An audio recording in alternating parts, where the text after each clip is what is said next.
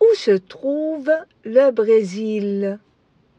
Et pour répondre à cette question, on doit savoir les noms des continents. Les continents.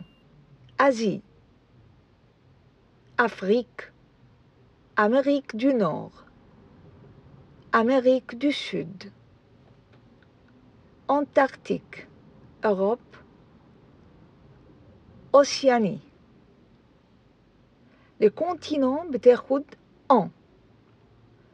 L'Égypte se trouve en Afrique.